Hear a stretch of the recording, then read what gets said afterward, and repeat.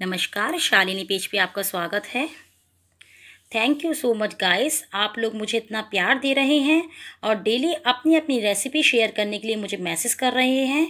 वैसे भी हमारी रेसिपी बिगनर्स के लिए होती है, जो मॉम अपनी किचन में फ़र्स्ट टाइम उस रेसिपी को ट्राई कर रही हैं, उनको मेरी सभी रेसिपी बहुत पसंद आती हैं, क्योंकि मैं अपनी रेसिपी में इजी टिप्स एंड ट्रिक्स और ऑप्शनल यानी आपके घर में कोई चीज़ नहीं है, उसकी जगह पे आपको क्या यूज़ करना है, उसके साथ आपको शेयर करती हूँ।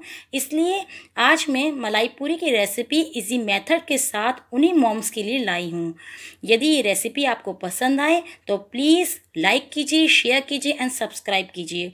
और मेरा बेल आइकॉन हिट करना ना भूलिए ताकि आप मेरी फ्यूचर पोस्ट का नोटिफिकेशन आसानी से देख पाएँ। Thank you so much sugar syrup बनाने के लिए मैंने एक कटोरी चीनी ली है ये सौ ग्राम चीनी है और आधा कप पानी है इसका हम शुगर सिरप बनाएँगे।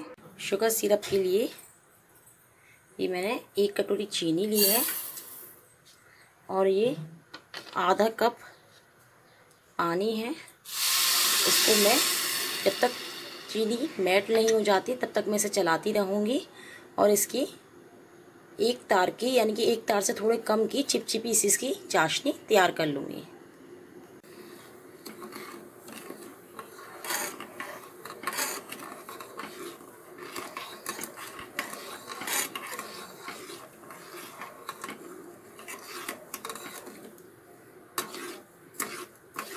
ये शुगर मेल्ट हो गई है। अब मैं इसमें बिल्कुल थोड़ा सा दूध डालूँगी। दूध डालने से जो शुगर होती है, उसकी गंदगी होती है, वो अलग हो जाती है और इससे शुगर सिरप एकदम साफ़ बनता है। अभी आप देखेंगे, यहाँ पर इसकी थोड़ी थोड़ी गंदगी आ जाएगी। वो आप इस तरीके से निकाल निकाल के बाहर की तरफ़ फेंक दीजिए। ये इस तरीके से गंदगी आ जाती है। बस इस तरीके से पूरा शुगर सिरप साफ़ हो जाता है। इसी तरीके से आप सारी गंदगी को एक कटोरी में निकाल के फेंक दीजिए। इसकी जगह पे आप नींबू का रस भी यूज़ कर सकते हैं, लेमन जूस भी यूज़ कर सकते हैं, देख सकते हैं। ये गंदगी मैं एक कटोरी में लेती जाऊँगा, शुगर सिरप एकदम साफ़ हो जाएगा इससे।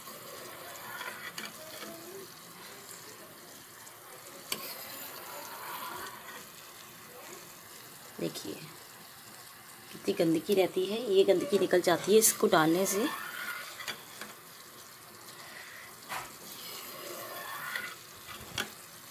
हम चेक करेंगे। ये देखिए, चिपचिपी सी बन गई है चाशनी, तैयार हो गई है। अब इसकी हम फ्लेम बंद कर देंगे।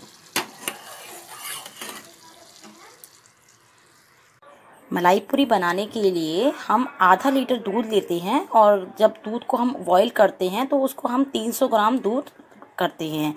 यानी कि उस दूध को हम गाढ़ा करते हैं, तब हम उसकी मलाई पूरी बनाते हैं। या फिर आप बाज़ार से खोआ लाके मलाई पूरी बना सकते हैं, या फिर आप बाज़ार से कंडेंस मिल्क लाके आप मलाई पूरी बना सकते हैं। पर ये तीनों चीज़ घर में ना मिलने पे या बाज़ार में ना मिलने पे आप मलाई पूरी सबसे आसान तरीके से मलाई से भी बना सकते हैं। ये मैंने दो चम्मच ताज़ी मलाई ली है। ये मैदा है आधा कप, ये सफिशेंट जितनी रहेगी उतनी मैदा हम यूज़ करेंगे। ये एक कप दूध है, जब ये गाढ़ा हो जाएगा पेस्ट तो हम उसे पतला करने के लिए दूध का यूज़ करेंगे। और ये बेकिंग पाउडर है। बेकिंग पाउडर आप सोचते हैं, अगर हम नहीं भी डालते हैं तो भी हमारी मलाई पूरी बहुत अच्छी बन जाती है, पर बेकिंग पाउडर डालने से उसके अंदर क्रिस्पीनेस भर जाती है और आप मलाई पूरी काफ़ी देर पीछे रख के भी खाते हैं तो वो क्रिस्पनेस उसके अंदर बनी रहती है। इसलिए हम इसके अंदर बेकिंग पाउडर डालते हैं। इसको मैंने मलाई और दूध और मैदा मिला के इसको फेंट लिया है। बस इसकी आपके ये देखना है, गाढ़ा पतला इतना देखना है। ये देखिए, इसकी कंडेंसी ऐसी होनी चाहिए।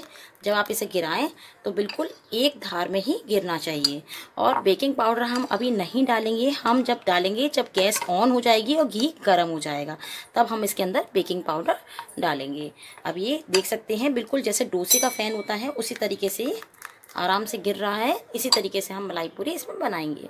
ये देखिए, मलाई पूरी बनाने के लिए हमने ना कढ़ाई रखी है। हमने सिर्फ़ तवा रखा है, जिस पे हम रोटी सेकते हैं, हमने वो तवा रखा है, क्योंकि जो मलाई पूरी हम बिगनर्स के लिए बना रहे हैं, जो फ़र्स्ट टाइम अटैम्प करते हैं किचन में आके कोई भी मिठाई बनाने के लिए तो इसके लिए हमने पहले तवा रखा है। आप तवे पे फ़र्स्ट टाइम बना रहे हो तो बहुत अच्छी बनती है। यदि आप परफेक्ट हो जाती हैं मलाई पूरी बनाने में तो आप कढ़ाई में या फ्राई पैन में यूज़ कर सकते हैं। वो भी मैं आपको बना कर दिखाऊँगी। पर जब आप फ़र्स्ट टाइम बना रहे हैं तो आप तवे पे ही सबसे पहले यूज़ कीजिएगा। इसमें मैं थोड़ा सा घी चढ़ा दूँगी। केवल दो चम्मच चढ़ाना है। हमें ज़्यादा घी इसमें नहीं चढ़ाना है, केवल दो चम्मच चढ़ाना है। हम कढ़ाई में फ़र्स्ट टाइम मलाई पूरी इसलिए नहीं बताते हैं, क्योंकि जब हम घी ज़्यादा ले लेते हैं तो वो जो मलाई पूरी होती है, वो फ्लोट करती है, जिसके कारण वो चारों तरफ़ फैल जाती है। और तवी पे कम घी होने के कारण मलाई पूरी उसी के अंदर रहती है और वो आराम से सिकती है। इसलिए यदि आप फ़र्स्ट टाइम मलाई पूरी बना रहे हैं तो तवी पर बनाइए। यदि आप आप पहले बना चुके हैं तो फ्राई पैन या कढ़ाई किसी भी फ्लैट चीज़ पर बना सकते हैं। ये घी गर्म हो चुका है, अब हम गैस धीमी कर देंगे। इसके अंदर हम ये बेकिंग पाउडर डाला था, ये हम डालेंगे और अच्छी तरह से फेंटेंगे। घी गर्म हो चुका है।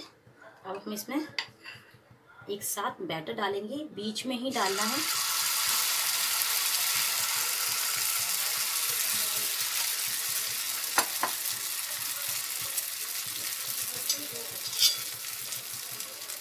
और इसे मीडियम आँच पे हमें सेकना है, जब तक ये गोल्डन नहीं हो जाती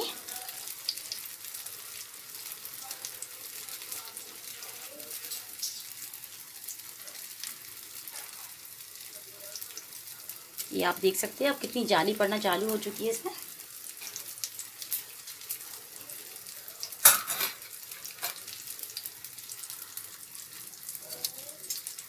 ये देखिए, अब गोल्डन हो चुकी है। अब बस इसे हम किसी से भी सहायता से हम इसे पलट देंगे। जब नीचे से भी गोल्डन हो जाएगी तो इसे फिर हम निकाल लेंगे।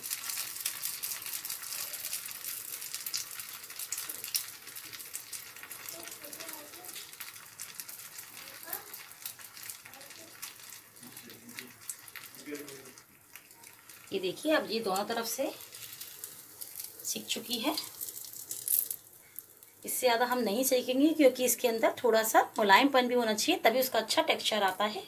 बस इसी तरीके से हम सारी बना लेंगे और इसको इस तरीके की कोई भी चलनी पे रख दीजिए, ताकि उसका घी उस पर निकल जाए। अब मैं आपको फ्राई पैन में बना के दिखाती हूँ। पैन रख दिया है। अब इसमें भी हम घी चढ़ा देंगे।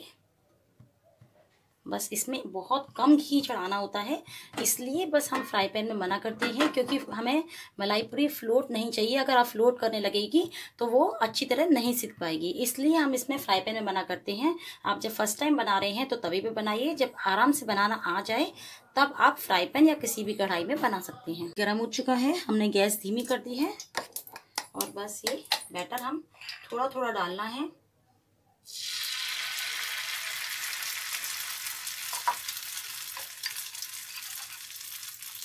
अब थोड़ा दूर डालना है क्योंकि ये आपस में चिपक नहीं जाए।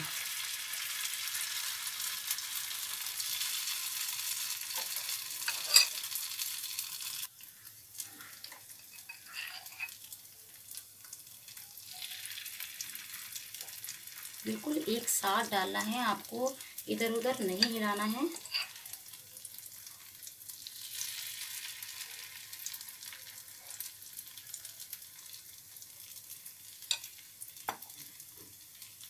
ये देखिए, अब ये चारों गोल्डन ब्राउन से हो जाएँगे, मैं फिर पलट दूँगी।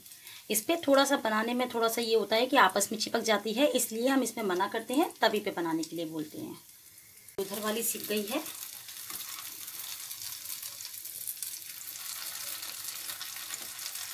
अभी ये वाली नहीं सीखी है।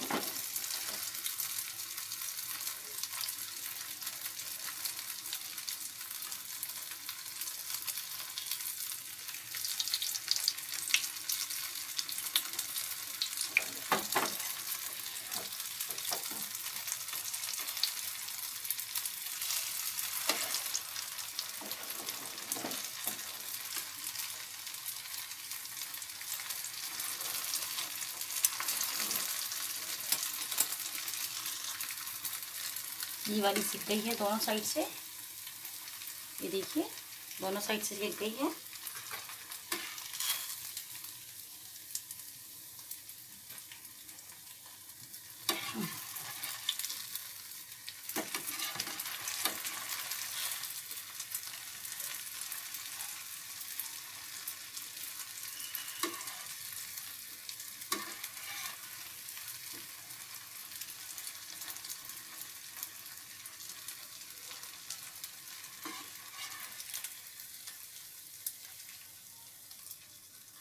इसको भी मैं उतार लूँगी और इसी तरीके से मैं सारी मलाई पूरी बना लूँगी।